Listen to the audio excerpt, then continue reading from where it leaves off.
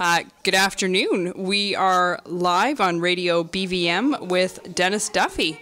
Uh, Dennis Duffy is an archivist at the Royal BC Museum and the author of Imagine Please Early Radio Broadcasting in British Columbia, uh, which was published by the Provincial Archives uh, almost 30 years ago. 30 years ago this summer. 30 years ago this summer. So we're so pleased to have Dennis uh, in the studio with us today, talking about the early history of broadcasting in the province. Um, but first of all, I, I, wanted to ask you that the, the book, Imagine Please, is largely based on oral his history interviews with people involved in the radio industry. How, did, how was it that those interviews came to be recorded? Well, the, uh, the oral history program uh, of the Provincial Archives got underway away in 1974, and it was one of the first attempts to bring together uh, oral history collections from around the province in one place. And it was kind of unusual for an archive archives are usually considered a place that accepts existing material, uh, whereas the archive staff in the oral history program went out and made recordings themselves, sought out uh, people who were pioneers in various industries and various places, and recorded them for posterity. Now, in the case of Imagine Please, which was part of the Sound Heritage series, I should mention that now defunct series of 40 books about BC in through oral history. Uh, there was an opportunity for the archives to showcase recordings in the collection and also uh, if they saw a particular subject area that was underrepresented, they could commission new interviews. And Imagine Please came about because a fellow named Emmanuel Ronce, who was at SFU uh, as a student, had gone out and uh, collected recordings about the early days of radio in Vancouver. And there was another collector named Tom Hood, who had both recordings of early programs and recordings of er early radio people talking about their experiences. And there was uh, another collection in Ottawa, the Kenneth Bambrick collection, who had, a fellow who traveled across Canada and interviewed early broadcasters. So we looked at what was already there, and uh, I was commissioned to do this book, and part of that was to go out and fill in the gaps in the record. In particular, I went into the interior and interviewed some uh, some pioneers there, and uh, some some more Vancouver people. I would talk to one person and I'd say, well, who should I talk to next? Right. That sort of thing. And so, uh, uh, as it's with a lot of these projects, you, you, discover that you catch people just in time. Uh, one of my favorite interviews is with John Avison, the uh, classical musician and, and uh, conductor who was on the CBC for years. And I interviewed him the year before he died. Right. So it was a, it was important to do that, and uh, and now the now the material is at the provincial archives, or as it is now, the Royal BC Museum, and people can come in and listen to the original recordings as well. Yeah. Now you at the at the Royal BC Museum have all kinds of audio media. Um, can you tell us a bit about some of the different types of things that people recorded sound on? Well, of course, uh, dear to the heart of this exhibit, I'm sure, would be the 16-inch broadcast transcriptions. Uh, those are 16-inch uh, in diameter discs. Uh, uh, often uh, services who provided programming, like say the Jack Benny show in syndicated form, would send them out on disc. And as you know, it's it would be very difficult to turn a disc over on the air right. because you'd have dead air. So instead of sending you one disc with the program on each side, you get two discs and the reverse side of the disc would be blank. Well, the stations were very smart, and they would cut their own programming on the other side of the disc. So what we have a lot of in the collection is discs and discs of things like the Jack Benny Show or um, oh some music series. Uh, which we're not that interested in preserving because they're preserved elsewhere. But what's valuable is the local programming on the other side. You turn over your Jack Benny discs and you have a whole side of uh, CJOR radio commercials from the 1940s.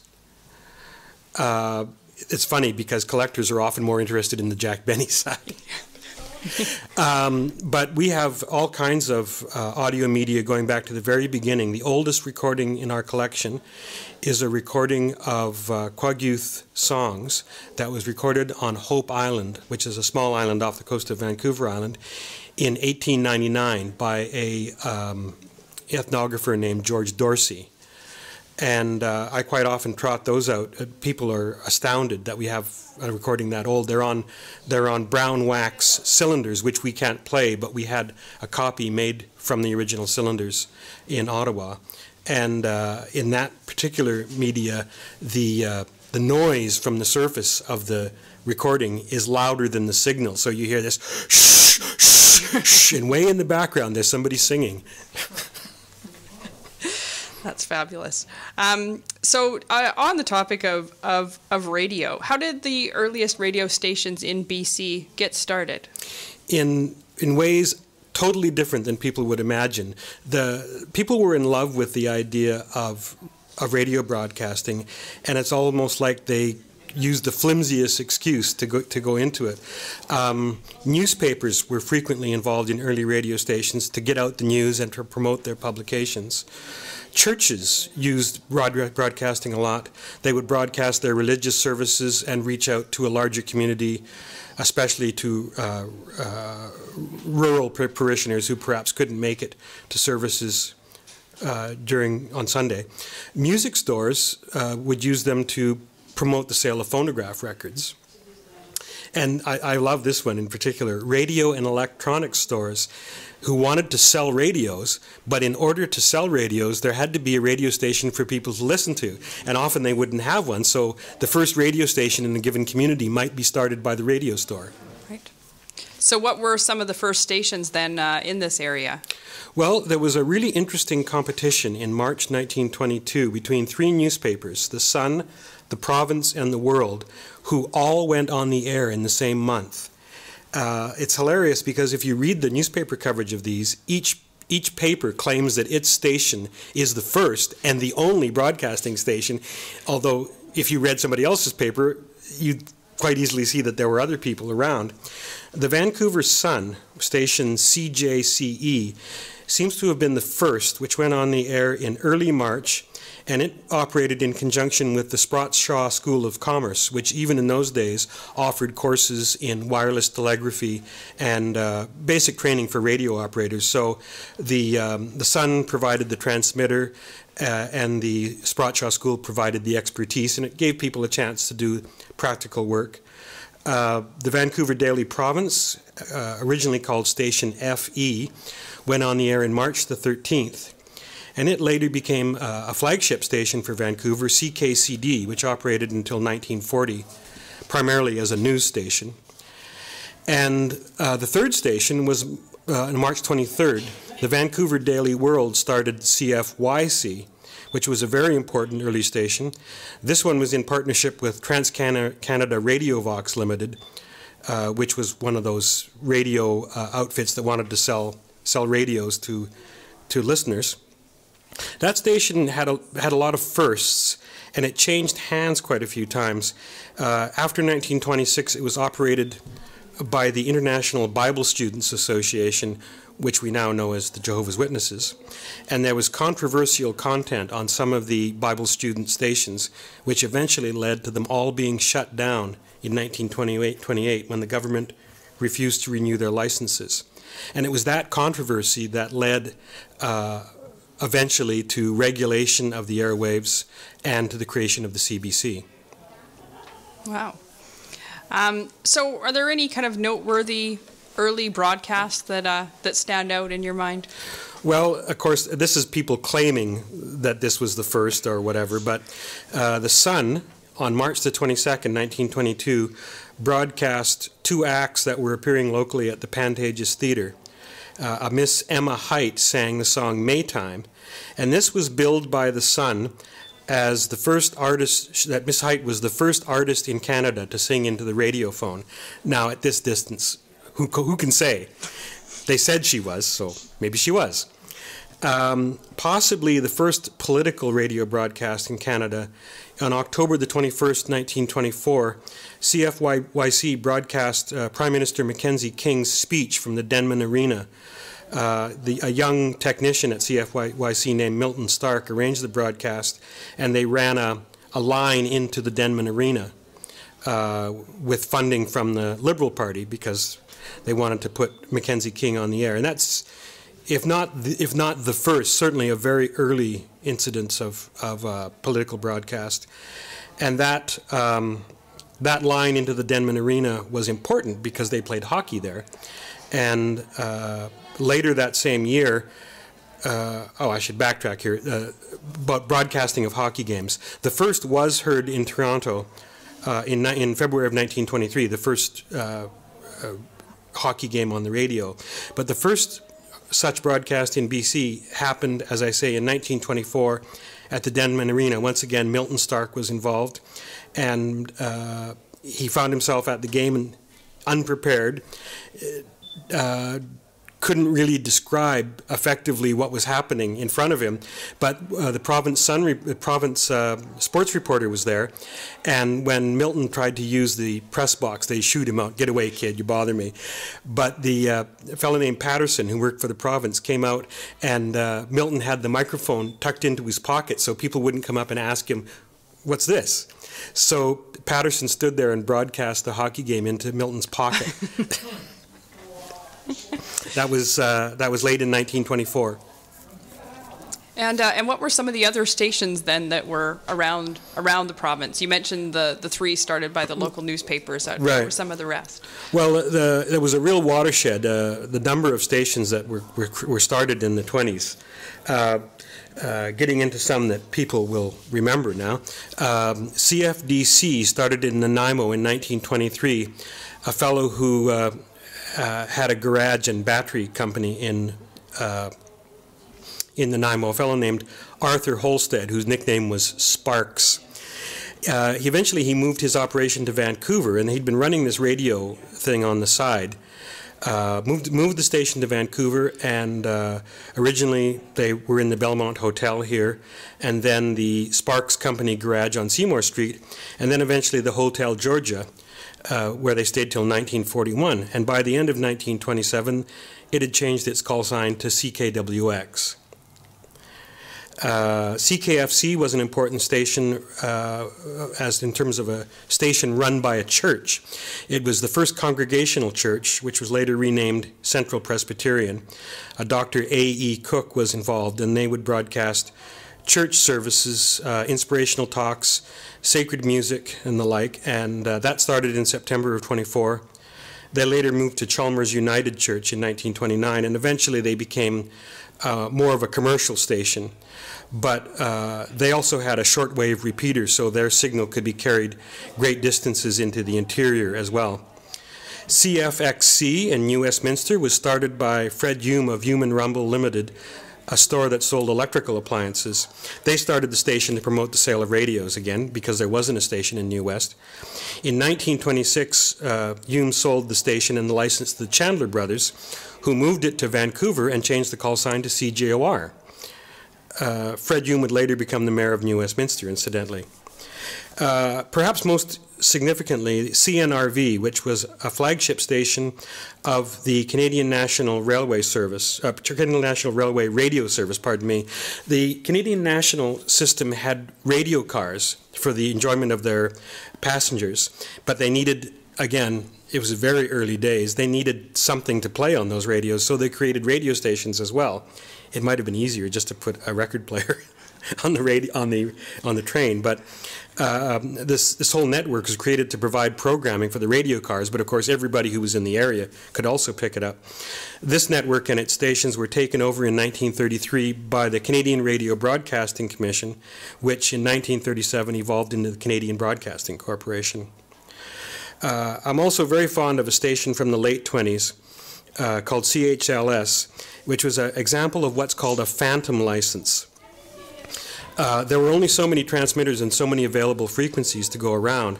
And CHLS had a phantom license with CKCD. So CKCD would, would do their programming, which was primarily news, and they would sign off. And then a moment later, using the same frequency, the same transmitter, and the same studio, and the same microphone, another station would sign on and say, This is CHLS. And uh, uh, this was, uh, I think, not coincidentally, uh, CHLS ties in with the name Billy Hassel, who is an important figure I'll, I'll, tell you more about later. But uh, this sort of phantom licensing issue was, uh, was really a, an interesting situation at the time. Uh, the airwaves were allocated very tightly. In Vancouver, for instance, five stations shared one frequency, the 730 a 730 kilocycle frequency until the early 1930s. They would divide up the airtime and then sign on and off at scheduled times throughout the day. And each station would have slightly different programming, but it was the same transmitter, and you, you wouldn't even have to move your, move your radio from where it was on the dial. And then there was two other stations that shared a second frequency. Finally, an international agreement struck in Havana reallocated the frequencies and limited the output of the stations so that each station would have a clear channel in its own area. But this meant that two of the Vancouver stations had to go off the air, and that's why CKCD and CHLS shut down in 1940. So, what, what type of programming would these early stations have been playing? Well, news was a, a big thing, and from what I've heard, often just news read out of the newspaper. Somebody would go through the newspaper and draw, draw circles around the, the key paragraphs. Music was very big, uh, both live in the studio as well as um, remotes or pickups from local dance halls and clubs. They would just run a telephone line in there and a microphone, and they'd be able to, you know, feature the local dance bands. And the bands were glad to be heard, so it wasn't very expensive. It's not like they had to pay the talent. People were just dying to be on the air in those days. And there'd also be music programs that were based on music from commercial discs and transcription services. Sometimes a transcription service would put together an entire series of radio programs like light classical music, and you could just create the program from the disc as if the group was playing right in your studio. Sports was big, of course, like the uh, early hockey broadcast. And there were a lot of I guess what I'd call semi-improvised comedy variety shows where people would get on and uh, tell jokes and somebody would do a song uh, and they would just keep going. There'd be late night shows and they'd just keep going until they ran out of gas. Uh, one that was uh, very prominent in Vancouver because of its network connection on the station CNRV, the CNR radio station. There was a program uh, called the the Four Continental Porters, and they would be they were supposed to be uh, Continental Rail, uh, Continental train uh, porters, black porters. Of course, none of them actually were black, uh, but there is a famous uh, publicity photo of them in blackface. So it was a blackface program on the radio. It's very Amos and Andy. and drama became uh, a, a, very, a really a real staple of of early radio too. Yeah, one thing that we uh, that we found interesting doing the research was that even though radio is an audio medium, you see people very dressed up for their performances or uh, ventriloquism. Mm-hmm. And and it just seems so odd now to think of the appeal of ventriloquism. One of the most popular programs on American radio was. Um, uh, Edgar Bergen, uh, Candice Bergen's father, uh, who was a ventriloquist and had Charlie McCarthy and Mortimer Snerd. Why he even bothered to bring the dummies to the studio? How would they? How would anybody know if they were there? Um, and uh, what about um, advertising? Was there much much advertising in the early days? There was a lot of resistance to advertising originally because people had this idea that radio had a noble mission and that somehow the the uh, the purity of radio as a noble experiment would experiment would be diminished by grubby commerce, and it's hard to imagine now the sort of uh, ideal, idealistic view that they had. I've got an example here from uh, uh, co comments from the Reverend A.D. McKinnon, a Presbyterian mission uh, superintendent in the Cariboo, writing about radio in the province in 1922. It is a safe forecast if this wireless communication of important news, worthwhile concerts, thought provoking addresses, inspiring operas, and ennobling and uplifting sermons can be supplied to dwellers in the remote plains and interior belts of British Columbia, that people can be numbered in the hundreds of thousands in a few years, where we now find only a few hundreds. The world is on the eve of great advances which portend the end of discontent and the ushering in of a longer and brighter day of peace. Uh, so obviously, people who had those kind of uh, idealistic sentiments didn't want uh, advertising, but advertising was inevitable. Um, first, just to support the costs of the station, and then people came to understand clearly that hey, you could actually make money doing this. And they started with low rates, and then the rates would climb as as the market dictated. There were a lot of restrictions on advertising. And uh, uh, one of the ones that I thought was very interesting is that you could, I think they were going for like a public broadcasting model where, you know, this program was brought to you by so and so, and eventually you could say this. They produce a product of really high quality, and the price is just superb, but you couldn't say what the price was because that would be crossing a line. Uh, and that kind of advertising sometimes there was money, sometimes it was in the form of barter. There was a system called Contra where you would pay for your advertising through goods, and sometimes that would be groceries to feed the junior announcers, or it would be a car uh, for the station to use in its remote work. And, uh, and sometimes the pickings were, were very slim. I've got a story here, if I can find it. Yes, about this was in the 30s when times were rough. Uh, Barney Potts tells the story of, uh, of an early program. One of the early shows I remember was in Purdy's Restaurant across from the Capitol Theater. It was for CKMO and it was called Cinderella Slipper Time. The idea was a shoe store would donate the shoes and they would, I guess, try them on people who were in the studio. And if they fit, the contestant would win the shoes. there wasn't a lot of money in those days, he says. Were there uh, kind of were there radio celebrities locally? Were there kind of well-known personalities on the on the air? Well, a lot of people remember Earle Kelly, who was the newsreader on CKCD. Uh, certainly a, a, a, figurehead. He was known as Mr. Good Evening because uh, at the end of every broadcast, he would wish a particular group of people a restful good evening, and uh, you know all the ships at sea and. Uh, and uh, the the one of these uh, apocryphal stories, you don't know if it ever actually happened, that one night Earle Kelly wished all June brides a restful good evening, and somebody phoned into the station and said. Uh, Mr. Kelly, what June bride wants a restful good evening? Uh, another fellow that was really well known uh, was Billy Brown, actually the best known local radio personality. He hosted the CKWX morning show, Billy Brown's Sunrise Club, and their afternoon show, Billy Brown's Brevities. And these were immensely popular programs. As the Sunrise Show, uh, you would send in a card to prove that you'd heard Billy Brown's show at 6.30 in the morning so you could be counted as a member of the Sunrise Club. And he'd send you a membership card. And the membership card that's reproduced in the book ha has the, the number 87,900.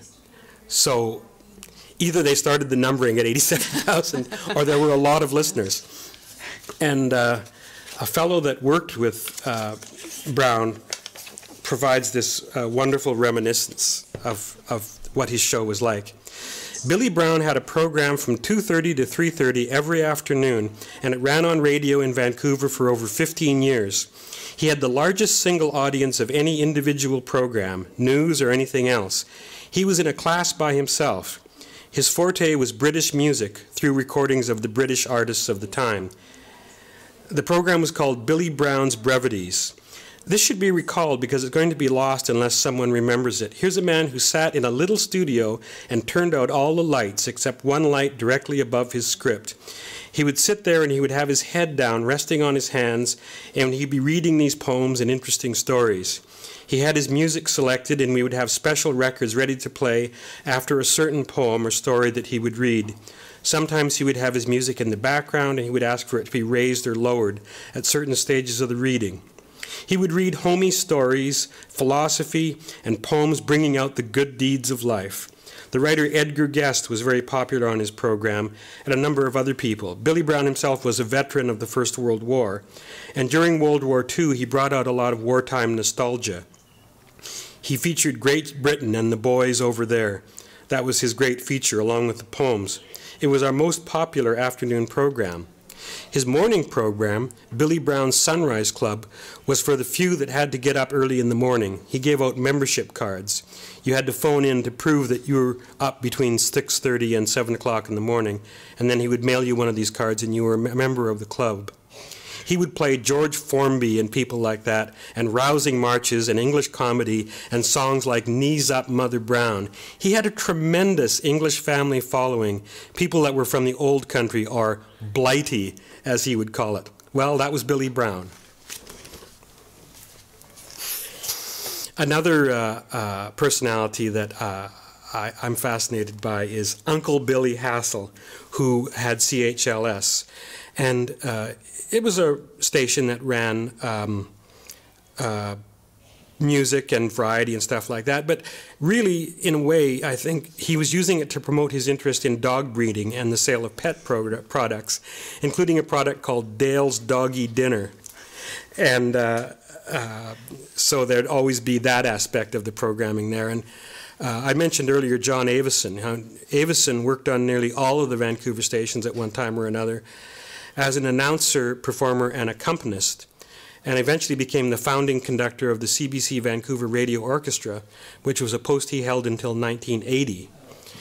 Uh, he was also a distinguished composer, and I have a couple of uh, stories from him talking about his days working for Uncle Billy. he says, CHLS was exactly of the identical station to the province owned CKCD, in the same building, using the same studios, on the same frequency. It was called a phantom station. All the commercial programs were on CHLS. CKCD only entered the picture for the news from, early, from Earle Kelly, a very famous news announcer of the day. CHLS was operated by W.G. Hassel, who was known as Uncle Billy. He told dog stories, raised dogs, and sold dog food. My position at the station was music director for the sum of $25 a month, and on Saturday mornings I had to go around to various stores and count the cans of Dale's Doggy Dinner on the shelves as a kind of inventory. uh, my job required so many things. You had to be the music director and play the piano for the singers. Uh, you, programs were never timed, so that if you were short at the end of the program, the announcer would lie by saying that some dear old lady from White Rock had just phoned up and wanted George Boyd to sing the song that he had sung first on the program. In between times, I was leaping up on a chair. We had a German chiming clock on the wall, and I used to put the hands up to the chiming position on the hour. The chimes would ring out, and following that, I would leap back down to the microphone and say, Golden chimes measure the passing hours, courtesy of Shore's Jewelers. Bill Buckingham was in a series called Marston of the Mounties. I used to announce that show too. I also used to do the opening of the show, an imitation of horses' hooves, which I did by pounding on my chest. that was a long running series. I don't remember who wrote it. I don't think anybody would admit it. It was pretty dreary. Um, he mentions about, about Billy Hassel, describes him as a great, bluff, happy sort of fellow. He was a very forceful character, very convincing, and he became very popular with Vancouver audiences. The only thing is that sometimes, in the middle of a public broadcast from the Broadway Theater, he would insist on telling stories about collie dogs with the idea of selling dogs and dog food. He also gave singing lessons in the studio in the daytime. I don't know what his background was vocally. We had a, quite a number of very young kids who were working on CHLS primarily because they were free and Hassel was careful with a buck. um, how many of these were, have you ever actually been able to hear? Very few, especially in the period uh, 20s and 30s, there just wasn't a lot of recording made. The stations were, most of their broadcasting was live, and they just didn't bother to make a record. Uh, you have some recordings that you're using for this exhibit that you got from us from a collection, the, the Will Reader collection. And those recordings only exist because you could buy amateur disc cutting outfits. So, excuse me, that you could record uh, before people had tape recorders, you could record things at home uh, on disc. And Will Reader was a recording enthusiast and radio enthusiast who was also in radio broadcasting himself. And much of what we know about early Vancouver broadcasting survives because Will Reader recorded it on his little disc recorder. It, it just really strikes me with, with the book how fortunate it was that people thought to go and record the stories Mm-hmm. of those people in the 50s and the 60s and the 70s and, and get their information looking back. But it, it is tragic that so little of the material that they're talking about um, actually exists. Just It just kind of speaks to how fragile the oral record can really be. That's right, and we can imagine or speculate on how it sounded, uh, and certainly uh, everybody has an idea about how early radio sounded. Uh, I mean, I, I, I love the idea, but I still think that it must it must have been pretty corny. Uh, but I wish I could hear some of these some of these shows. Yeah. I mean, to have it actually have a recording of Billy Hassel uh, hawking Dale's doggy dinner that would be priceless.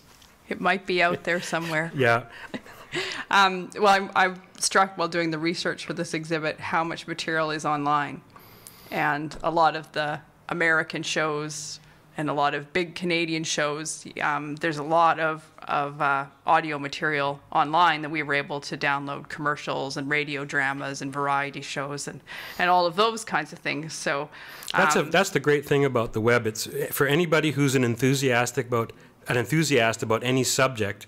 There's the opportunity to go absolutely hog wild with your enthusiasm and put stuff on the air. And I say, uh, uh, put stuff online, and I say more power to you because uh, when we were when I was researching Imagine Please in the pre-internet days, uh, it was very hard to find this stuff. It meant you know, sitting in front of, of a microfilm reader for days at a time, trying to find uh, a little mention of a radio broadcast. Yeah, yeah, yeah. No, research has uh, research in our field has has definitely changed considerably. Now, I didn't find much in terms of variety shows or or dramas from the local area. Was there much of a radio drama um, thing happening in Vancouver? Vancouver had a very prominent role in the development of Canadian radio drama. Um, again, in connection with uh, with CNRV, but. Uh, I don't know what it is about Vancouver. It's always attracted people who are interested in culture. They had uh, amateur operatic societies, amateur drama societies going back before the turn of the century. Uh, but in June of 1925, we know that CKCD broadcast a program of musical and dramatic selections put together by a local acting and singing teacher named Arthur J. Foxhall. In July, he'd organized a company called Foxhall's National Players, and they produced two radio plays for CKCD Nothing But the Truth and Peg of My Heart. In 1926, CNRV, the CNR station, rebroadcast uh, uh, the production of Peg of My Heart, and this time it was presented by Jack Gilmore, who was a member of Foxhall's company. And that seems to have caught on, and, and uh, it was just the right time for something like this. Gilmore organized the CNRV players in 1927. As a matter of fact, a wonderful picture of the CNRV players that you're also using as a poster for your exhibit. Uh, and it would present live drama broadcasts on CNRV every two weeks for the next four and a half years. And this was the first regularly scheduled radio drama series on Canadian radio. Um, it was heard locally. It went regularly to the uh, Western network and often to the national network as well. So people were hearing drama from Vancouver uh, before the 20s were out and that was sort of that sort of set the stage, so to speak, for for what would follow. That Vancouver, when the CBC came along, Vancouver became a major center for drama production, uh, often under the noted producer Andrew Allan, who really created the CBC radio drama. During the 1940s, many Canadian actors and playwrights gained national exposure through radio plays that originated at CBC Vancouver. Another important figure was the young Vancouver dramatist Fletcher Markle, just a, a, young guy of, I think, 21 or 22, who wrote, produced, and acted in the anthology series Imagine Please, which my book takes its name from. It ran for 65 episodes on CKWX, which was a commercial station. So the fact that it wasn't just the CBC, commercial, uh, commercial stations were doing original drama. Uh, a, another big source of drama was CJAT in Trail. And they did uh, an ongoing series of um, mysteries and thrillers for the radio called Chains of Circumstance. And that was very popular. and uh, it went from trail to the network as well.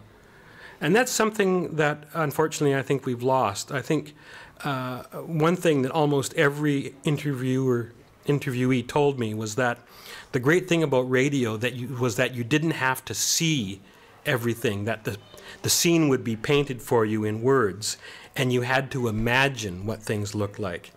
And that was a, a, a different dimension in radio drama. Uh, you could have uh, a sword fight on a cliff with a castle in the background and you didn't have to show any of those things. I'm very nostalgic for that uh, I, I, we have a, a, small collection of, of radio drama scripts, and I'd love to, to do something like that again. Yeah. Well, we'd love to maybe produce some of them here. That'd be cool. um, so before we wrap up the interview, I was wondering if anyone in our studio audience might have a question for Dennis. Hi, Camille. Hi, do I come as the studio audience? Absolutely. so I was wondering, actually, how you got into um, studying about radio history in, in our part of the world. Well, I uh, I had gone through a communications program at Camosun College in Victoria, and I did some of my coursework at the archives. And I was I just was very lucky. Those were the days where, if they needed something done, they could just hire you. And I did I did a lot of contract work for them. They had the series uh, Sound Heritage, and I was originally uh, contracted to write uh, an oral history of the Okanagan Valley and then I did one on early aviation, which was basically a rewrite job. And then this collection of radio material came in, and, and uh, the boss, Derek Reimer, said, How would you like to write this? And I said, Okay. At, at the time, I, I knew a little bit about early radio as just sort of a, as a communication student would, but uh, it was just the right place at the right time. Sort of stumbled in. I, right. Oh, wow that's that's been my career basically stumbling things. well, thank you so much for your time, Dennis. It's been great to uh, to connect with you and have you here in the studio today. Thank you very much for having me.